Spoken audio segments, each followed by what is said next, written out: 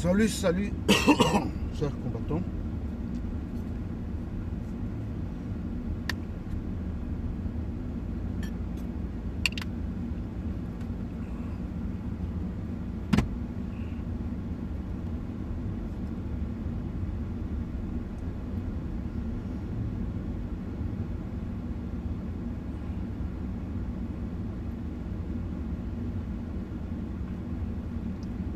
Salut, c'est le Bénin de Hindi. Euh, ce matin, on va parler de M. Paul Biya.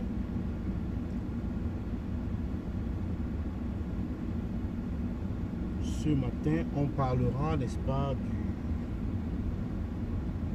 du président par infraction. Du voleur d'élection.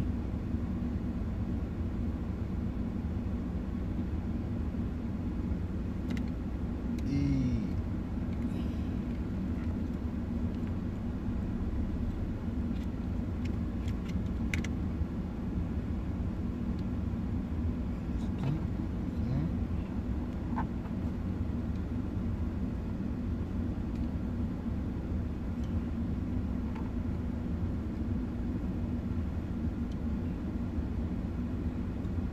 On va parler du président par infraction. Salut, salut, il y a une, il y a une dépêche euh, qui est apparue, n'est-ce pas, ce matin, publiée par Maurice Bateau.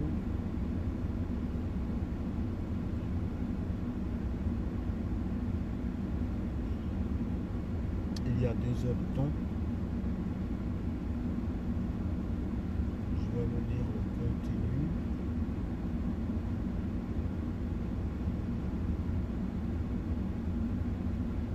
Salut, salut, connectez-vous.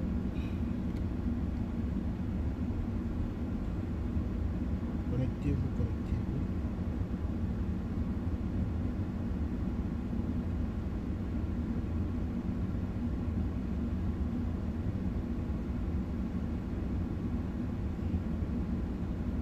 Connectez-vous. Euh, il y a une délégation des Nations Unies qui a séjourné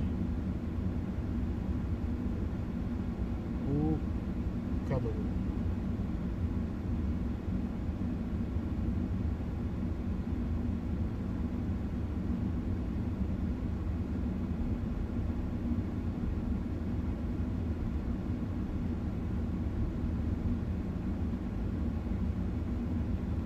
Il y a une délégation des Nations Unies qui a, euh, n'est-ce pas, séjourné au Cameroun. Et là,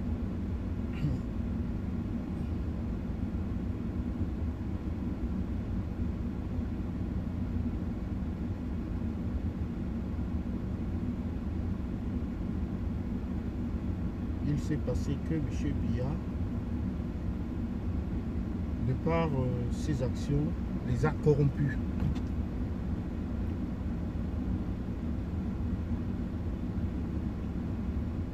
Je vais vous lire euh,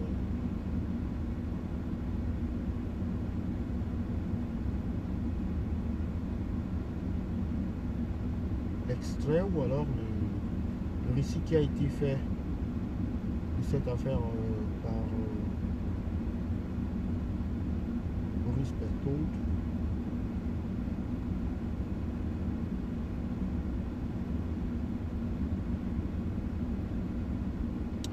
Ok, on y est.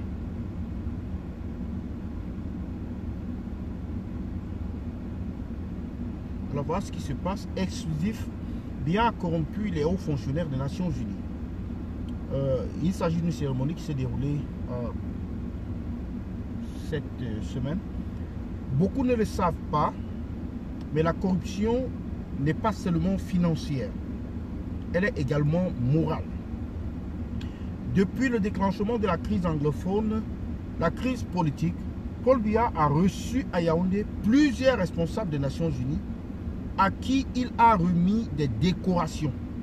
Pour beaucoup de Camerounais, il s'agit d'un fait banal, d'un acte de courtoisie.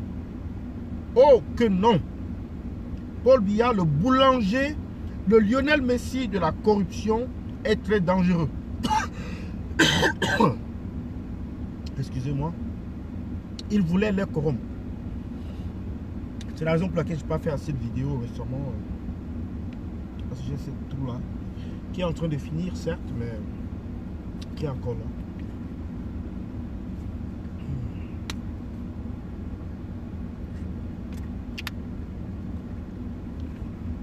Alors, je reprends cette partie depuis le déclenchement de la crise anglophone et de la crise politique. Paul Biya a reçu à Yaoundé plusieurs responsables des Nations Unies à qui il a remis des décorations pour beaucoup de Camerounais. Il s'agit d'un acte, d'un acte, d'un fait banal, d'un acte de courtoisie. Oh que non. Paul Biya, le boulanger, de Lionel Messi de la corruption, est très dangereux. Il voulait les corrompre. En effet, les décorations faites systématiquement par BIA aux différents diplomates internationaux sont interdites par la charte d'éthique, la charte éthique des Nations Unies. Voir sur la page 17 et 19 document qui est euh, attaché à ce, à ce, euh, n'est-ce pas, à cet extrait-ci. Car elles peuvent s'assimiler à la corruption morale. Les Nations Unies peuvent encore tolérer des cadeaux surprises dans des conditions exceptionnelles. Et le diplomate a l'obligation de remettre ce cadeau au secrétaire général des Nations Unies à son retour. Mais il n'y a pas d'exception pour la décoration qui est personnelle et qui est formellement interdite. On se dire ici que l'acceptation des cadeaux, de distinctions honorifiques et d'autres marques d'appréciation peut avoir un indice sur votre indépendance et votre impartialité et compromettre à la fois votre intégrité et la réputation de l'organisation. Il peut en résulter un conflit d'allégeance ou générer des attentes de la part du donateur. Il vous est interdit d'accepter des cadeaux ou autres avantages susceptibles de vous amener ou semblant vous amener à prendre des mesures qui ne sont pas neutres, indépendantes ou impartiales.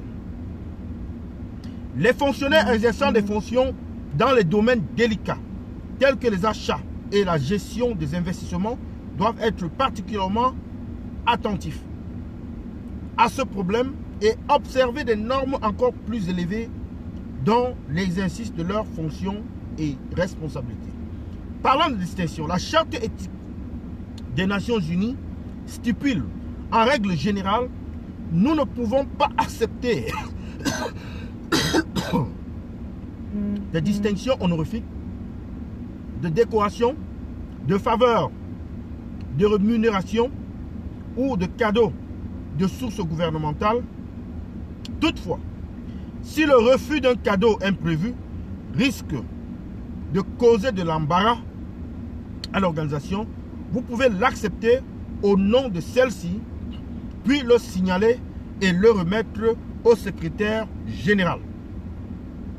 S'agissant des cadeaux, le texte est encore plus clair. Il vous interdit d'accepter d'un gouvernement un cadeau, quel qu'il soit, et indépendamment de sa valeur. En agissant entre, autrement, vous pourriez donner l'impression que vous rendez une faveur à un État membre ou accepter des instructions de sa part. À la différence de certains employeurs, l'organisation n'a pas de règles de, euh, de minimi en ce qui concerne, au minimum je pense, en ce qui concerne l'interdiction de l'acceptation d'articles de valeur de la part d'un État membre. Or, du 17 au 19 avril 2019, au cours d'une visite de la secrétaire exécutive de la Commission économique pour l'Afrique, Vera Songwe, elle a été décorée et a reçu un cadeau. Michel Bachelet, haut commissaire des Nations Unies pour les droits de l'homme, en visite au Cameroun le 3 mai 2019, a été décoré et reçu un cadeau. Même s'ils ne sont pas officiellement des fonctionnaires des Nations Unies, Moussa Faki, le président de la Commission de l'Union africaine et le secrétaire général de la francophonie, Louise Mouchiki Wabo, au cours de leur récente visite au Cameroun, ont été décorés et ont reçu des cadeaux de Paul Biya. C'est de la corruption morale. Une chose est certaine. Avec la crise anglophone et la crise politique, le Cameroun est devenu un haut lieu de la corruption des fonctionnaires internationaux. Et rien de surprenant que dans la lettre ouverte du 24 septembre 2019, Maurice Kamto et Christian Penda doutaient du rôle d'intermédiaire honnête et de facilitateur neutre de Antonio Gutiérrez, secrétaire général des Nations Unies. Dans la résolution de la crise multiforme du Cameroun, comme on pouvait s'y attendre de la part du secrétaire général de l'ONU, car le 27 octobre 2017, le secrétaire général des Nations Unies avait rencontré Paul Biya et reçu des cadeaux de sa part. Ceci en violation de la charte éthique des Nations Unies. Excusez-moi. Bon. Avec cet article, je peux renoncer pour l'instant, définitivement, à travailler pour les Nations Unies un jour. Mais c'est le prix de la résistance. Pour toute information, veuillez, euh, pour toute information confidentielle que vous souhaitez rendre publique, écrivez à l'adresse WhatsApp au 0044 7 404 79 35 75. Signé Boris Berthaud. Alors, voici la charte en question. Voici les documents joints. Voici la charte en question. Elle est là. C'est vers là, vous ne voyez pas très bien. Et la charte, elle est là. Et voici les décorations. Vous avez forcément vu ces photos quelque part. Vous avez euh, eu à voir ces photos de M. Bia, le boulanger, qui euh, décorait la caméra n'est pas très bonne pour cet autre. Et voilà Gutiérrez, euh, Antonio. Antonio Gutiérrez qui est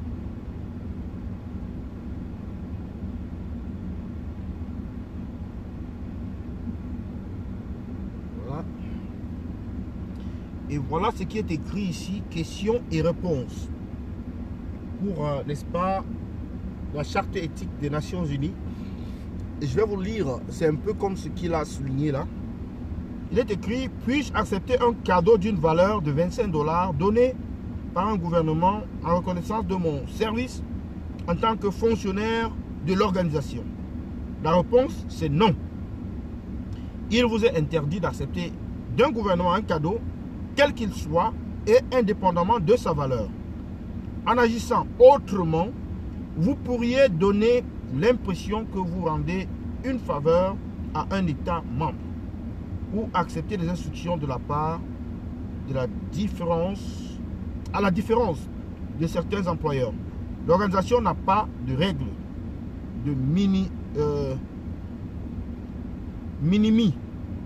en ce qui concerne l'interdiction de l'acceptation d'articles de, valeur de la part d'un État membre.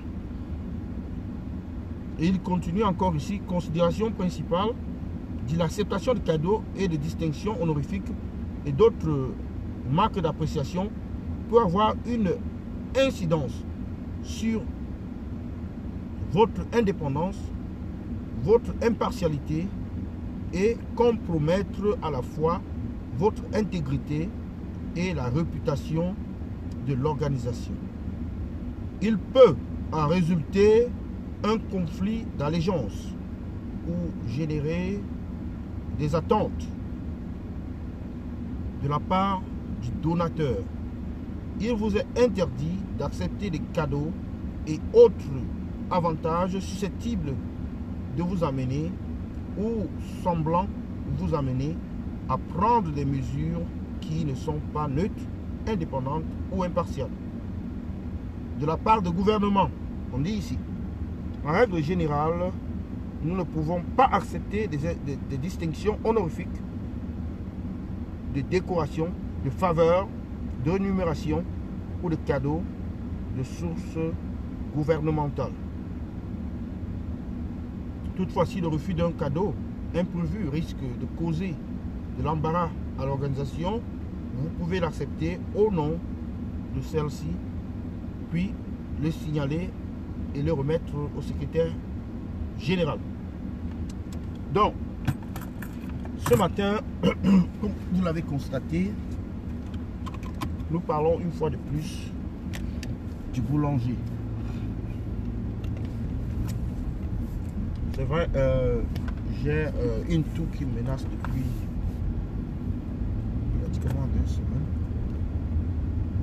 Paul Biya, comme le professeur Camto l'a signalé dernièrement, vous, vous vous rendez compte, le débat aujourd'hui est, n'est-ce pas, guidé ou alors dicté par le MRC. Il est dicté par le MRC. Monsieur Bia, hier le débat sur Equinox Soir portait sur euh, la question de savoir pourquoi est-ce que le président, la dépouille du président Amadou Aïdjo n'a pas été rapatriée au pays, mais il y avait un, un docteur là, je ne sais pas comment il s'appelle, je ne sais pas si c'est Bunga ou c'est qui, son nom m'échappe d'IRDPC, qui a dit que c'est à la famille d'Amadou Aïdjo d'aller solliciter ou alors de se d'approcher le gouvernement afin que la dépouille de l'ex-président puisse être euh, rapatriée au Cameroun. Alors que les Sardinats eux-mêmes qualifient M. Biya d'institution de la République il qualifie M. Biya d'institution de la République. Lorsqu'on pourchasse M. Biya à Genève,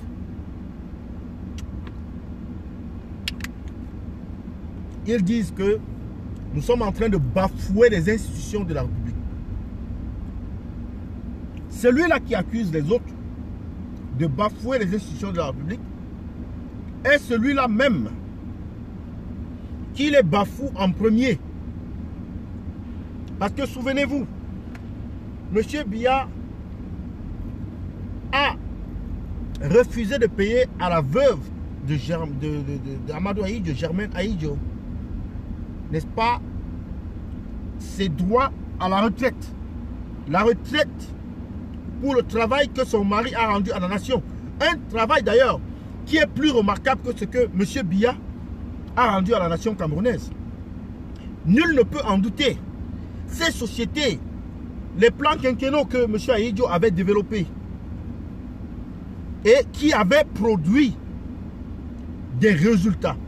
Un homme qui était en mesure de construire un stade en une année, moins d'une année. Aujourd'hui, nous avons un gouvernement qui n'arrive pas à construire un stade en 10 ans. La première pierre du stade de Paul Biya a été déposée en 2009. Nous sommes en 2019. Et voire même fin 2019. Donc nous allons pratiquement à 11 ans. Le stade n'a pas été terminé. Et c'est cet homme-là qui dit que c'est la famille du président, ou alors comme disait son, euh, le sardinard qui était au, plateau de Soir, que ce sont les ayants droit qui doivent s'approcher, n'est-ce pas, de, de l'État afin que les funérailles puissent être organisées. Mugabe est décédé. C'est un homme d'État. C'est l'État qui décide. Et l'État propose à la famille. C'est l'État qui décide et propose à la famille. Ce n'est pas la famille qui propose à l'État. Il y a de ces incongruités qui sortent, n'est-ce pas, de ce genre d'individu, comme ce professeur, c'est pas ce docteur-là, qui disent carrément, eux ils disent que ils ne voient pas là où il y a le problème. La preuve, c'est que deux enfants d'Aïdjo sont au pays. Les autres ont choisi de ne pas être au pays. Ils ont choisi. Ils n'ont pas choisi l'exil. Ils ont été contraints à l'exil. Ils ont été contraints à l'exil parce que M. Bia a refusé de payer l'argent. S'il n'a pas payé l'argent qui revient de droit, qu'elle refuse de faire venir le corps, qu'elle a même refusé de faire rentrer le corps de son mari. Mais cela ne voudrait pas dire que lui, M. Bia, peut, n'est-ce pas, se prévaloir de retirer euh, son dû, ce qui lui revient de droit, de plein droit, c'est-à-dire l'argent de la retraite de son mari. À cette question, les sardinats ne peuvent pas répondre. Ce n'est pas parce qu'il y a un enfant ou deux enfants qui ont choisi d'aller travailler avec le détracteur de leur père qu'on peut dire que le problème, ce n'est pas le détracteur. Ils ont été corrompus parce que M. Bia, c'est le boulanger. M. Bia, c'est le boulanger. Vous avez vu dans la famille Kéré comment le RDPC a voulu, n'est-ce pas, euh, créer des problèmes entre des personnes qui sont d'une même famille, au même degré. C'est leur habitude. Diviser pour mieux régner. Diviser pour confondre. Diviser, n'est-ce pas, pour, euh, pour embrouiller. Donc, on ne peut pas dire que le tort revient à la famille d'Amadou Aïdjo pour ce qui est du non-retour du corps de ce, cet homme d'État, un homme, un bâtisseur, mais alors un vrai bâtisseur, un travailleur, un bâtisseur acharné, qui a posé les jalons d'un développement durable, qui a posé les, les jalons d'une industrialisation impeccable de la nation camerounaise, qui était à l'époque aux avant-gardes, n'est-ce pas, sur le plan du développement. Mais aujourd'hui, qui est relégué au dernier plan. Pourquoi? Par rapport à M. Bia et son régime, qui ont tout détruit. Tout ce que Aïdjo a construit, ils ont détruit tout. Mais alors tout, Kamerko, Evekam, euh, Coton, Maison du Cycle, tout ce qu'il y avait au Cameroun comme entreprise, à l'UCAM, toutes ces grandes entreprises qui ont fait tourner l'économie camerounaise ont été mises à plat. Monsieur Bia s'est concentré, n'est-ce pas, à l'exploitation du pétrole et à la déforestation du Cameroun. Voilà ce à quoi M. Bia a excellé. Et vous voyez les conditions dans lesquelles ces compagnies-là même exploitent ce bois-là. Rentre dans la forêt, sans route. ces compagnies-là ne créent pas d'école, rien du tout.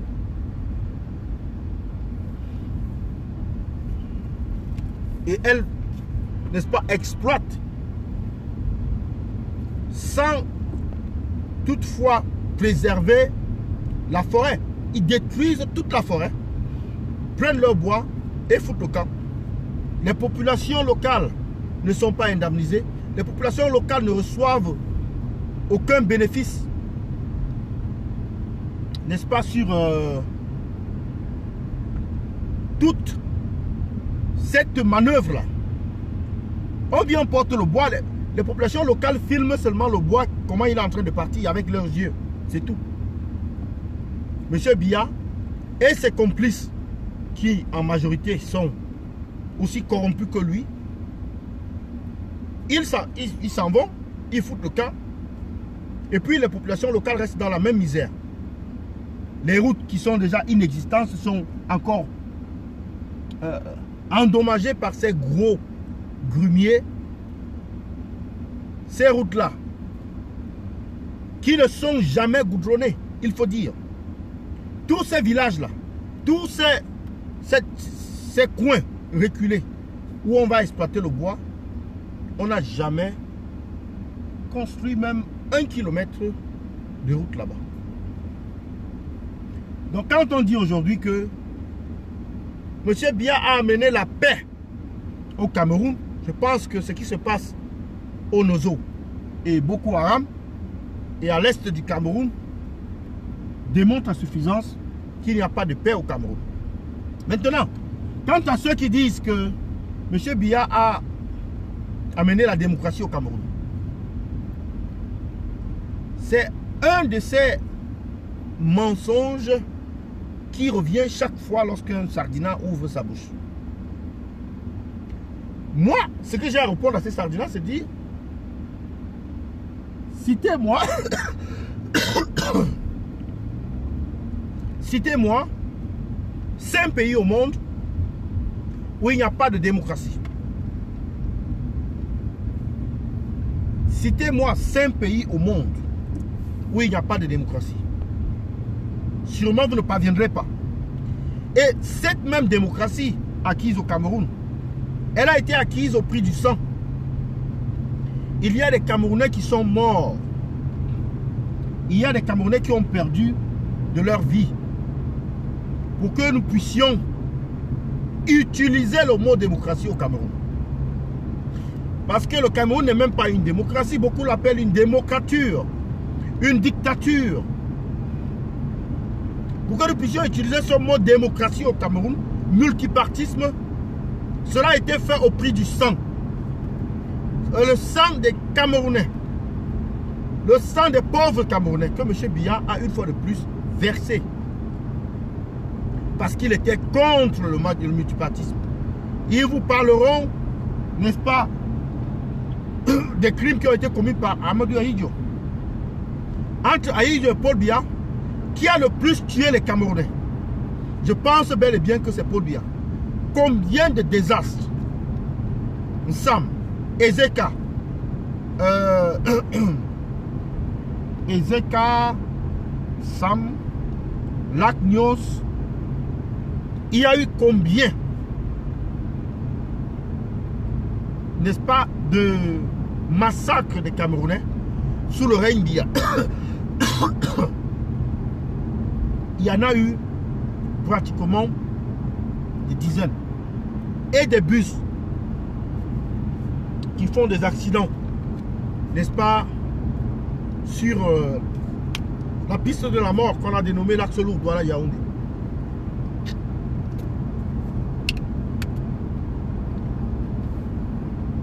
Les bus qui font les accidents de manière régulière.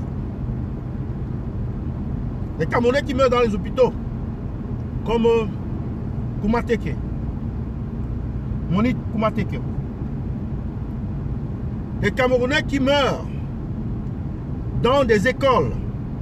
Les Camerounais qui meurent de soif, de faim. Tout ça sous le règne de M. Biya. Quand nous disons que c'est M. Biya qui a amené la liberté d'expression, alors que il n'existe pratiquement aucun pays au monde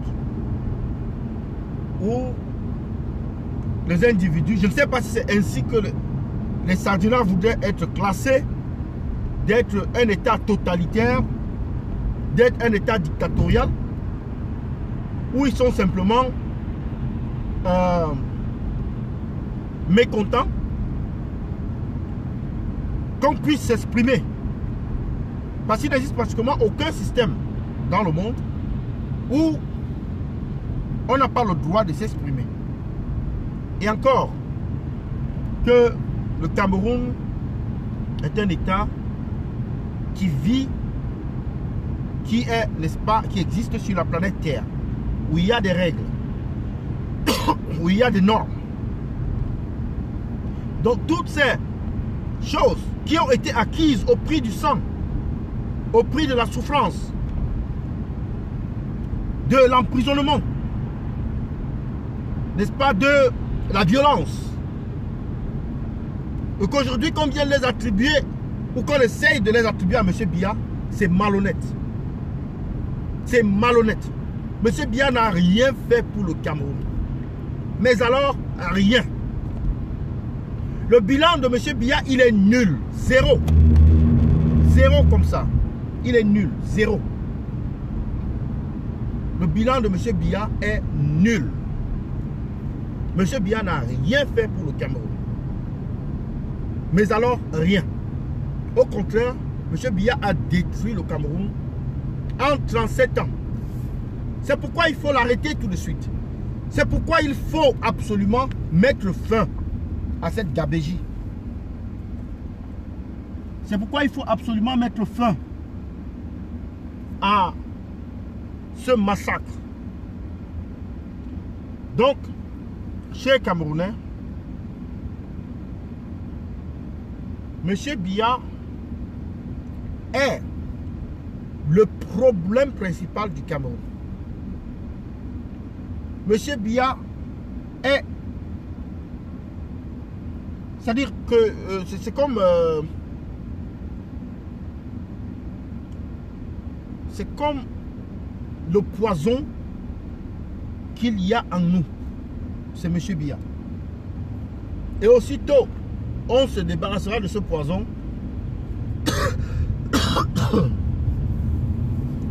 le mieux les choses iront.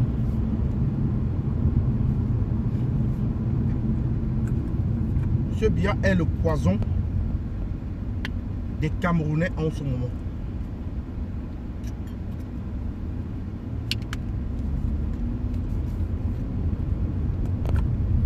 Mon cher combattant, le direct de ce matin était basé sur euh,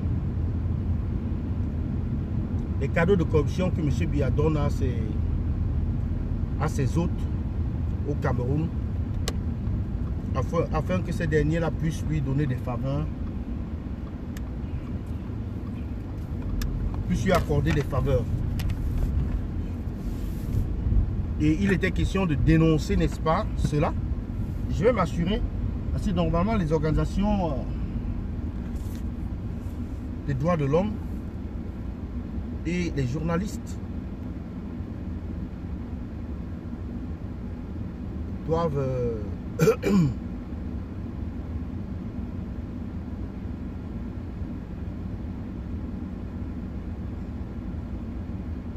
les organisations des droits de l'homme et les journalistes doivent prendre ce dossier de M. Bien pour exposer, n'est-ce pas, ces, euh, agents de l'ONU qui prennent des dons qui ne sont pas forcément euh,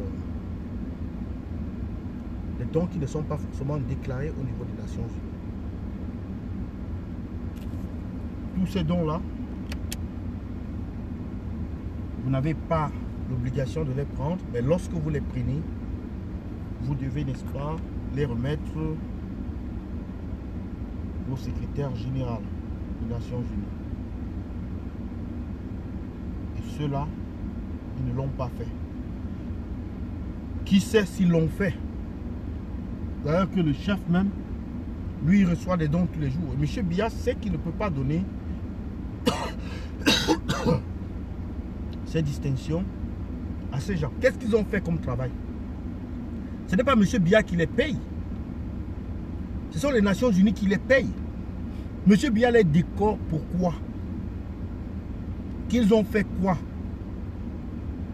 Ils n'ont fait que, n'est-ce pas, ils n'ont fait que faire leur travail. Ils n'ont fait que, n'est-ce pas, ce, ce pourquoi ils ont été mandatés ou envoyés de faire au Cameroun? Donc, c'est comme un médecin qui vous soigne et à qui vous donnez une enveloppe. Cela n'a pas de sens. Ce médecin, il est payé. Et généralement, en Occident, ils vont vous dire non merci.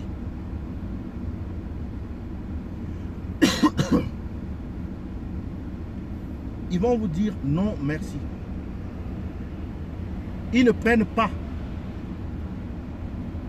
ces cadeaux qui n'ont pas de sens. Si vous donnez à un et une personne un cadeau qui n'a pas de sens, il ne le prend pas. Il vous le dit clairement que merci, je ne peux pas. Ou il vous pose même la question, c'est pourquoi? C'est pourquoi ce cadeau? Donc, M. Biya, lui, il en a l'habitude. Mais, on ne peut pas stopper M. Biya dans son, dans son élan de corruption.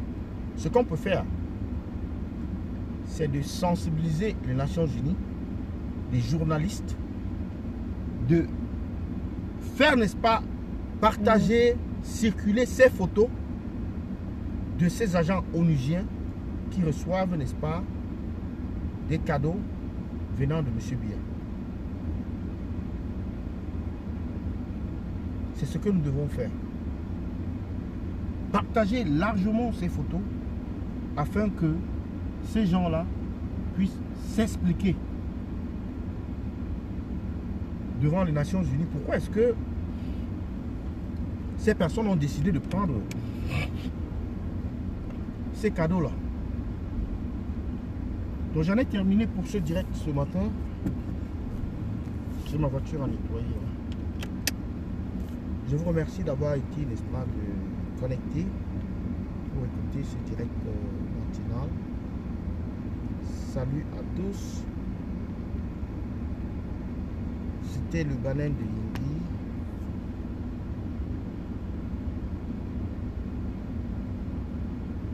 Bonne journée à vous et à bientôt.